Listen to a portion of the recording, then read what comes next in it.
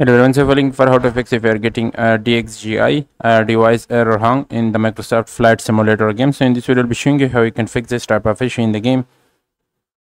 So uh, the first thing you need to do is uh, simply restart your PC, click on window icon and then restart your PC.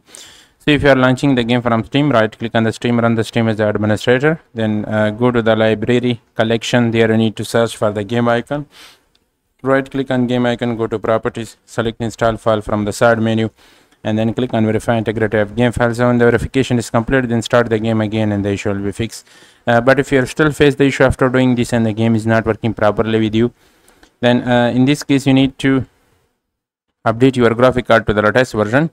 Uh, simply open your gpu uh, application and then you need to update your gpu to the latest version. So uh, some user is fix the issue uh, and uh, by re-downloading the old version of gpu driver.